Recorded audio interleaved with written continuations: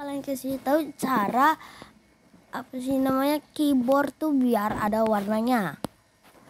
Nah caranya tuh kalian download aplikasi Noen Love.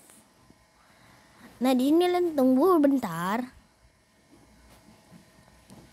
Nah habis itu terapkan keyboard yang mana aja kalian mau. Sesuka hati pokoknya ya ini tergantung kesukaan kalian sendiri-sendiri. Gua jujur li memang bingung. Soalnya ini terlalu bagus untuk gua yang barusan make. Nah coba gua pakai ini cuy. For free kita tunggu aja nih. Nah sudah terganti menerapkan. Nih guys. Tuh. Keyboardnya berwarna. Kalau kalian nggak percaya gue bakalan buka WhatsApp gua. Nah di sini. Kalian bisa.